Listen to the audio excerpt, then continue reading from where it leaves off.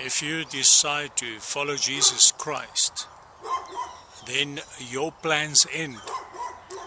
From that day onwards, you become part of the kingdom of God because you submit yourself to the lordship of Jesus Christ. He becomes your Lord and your master.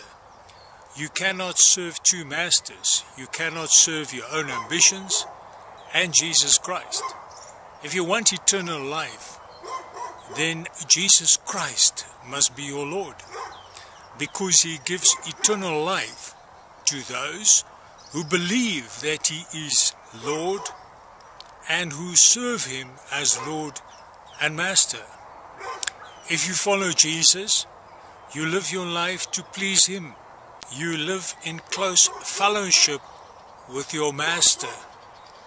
You follow him every day. You wait on him. You listen to his voice. You follow him. You go where he sends you and you do what he tells you because he is your master and you have become part of his kingdom. Jesus said that whoever wishes to come after me must deny himself, pick up his cross every day, and come here, follow me. Most believers say they believe that Jesus Christ is Lord, but they never follow him. They never submit to him.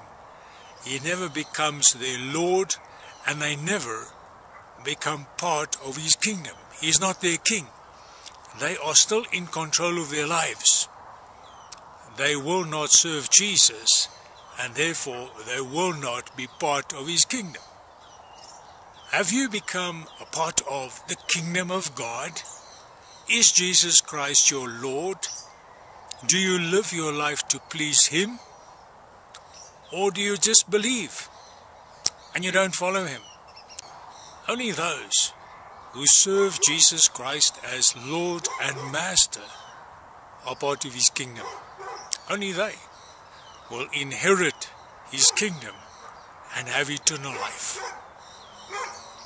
Have you accepted Jesus Christ as Lord and Master? Or do you just believe in him but you will not serve him?